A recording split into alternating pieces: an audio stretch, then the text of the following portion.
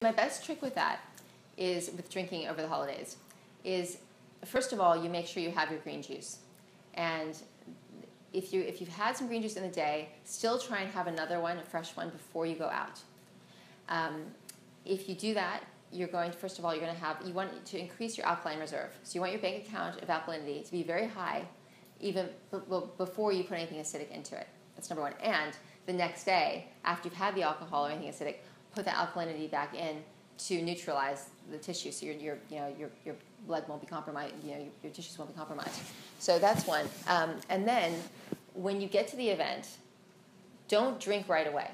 So for example, if, it, if the event starts at 6 p.m., you just had your, drink, your green juice, maybe you bring, now if you're like me, you'll take your green juice with you. Because there's no way I'm skipping that. There's no way, and, and I, you know, get a beautiful jug if you want to, or whatever you want to drink it in. But um, don't be embarrassed. It's like, you know, it's, it's seasonal colors, red and green, right? It's no problem. Uh, put a little holly uh, leaf in there if you want to. But, um, but don't compromise that. So if you want to be really bold and ballsy, you take your juice with you and you're in good company, trust me, it's great, it's no problem. Um, make sure you've got a nice glass straw to sip it out of. You don't want to, you know, be guzzling and, you know, have a big green mustache all over your face. Um, so you can do it elegantly. And if somebody asks, usually what I get approached when I, when I have my green juice at, um, a cocktail party, like, oh, cool, is there vodka in that? I'm like, no, I mean, it's like, anyway, this is, but, but that's okay. You can, if you, if, if you want to act like you're drinking, be like, yeah, like there's like, it's like gin and I don't know, whatever, some, some sort of, I don't know what you want to say. It's my, it's my green gin tonic.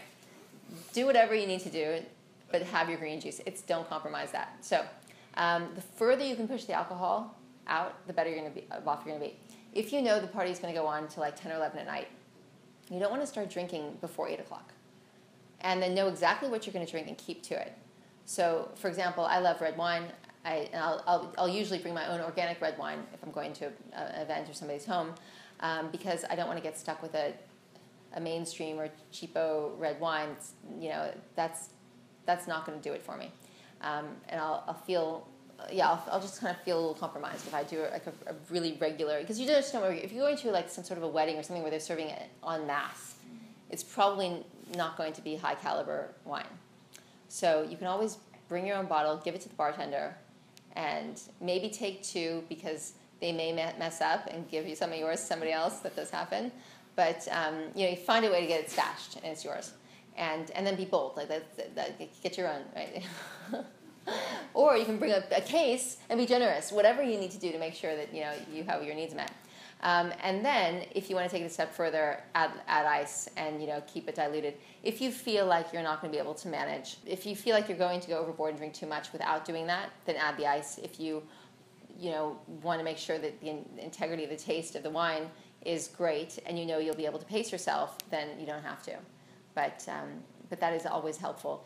And I find that I, I, even though I love the taste of white wines and rosés, I don't drink them because I will definitely guzzle them. To me, they taste like fruit juice, and I can sip red wine, but rosé or Chardonnay, it's like it just I drink it like it's like you know like apple juice. Yeah.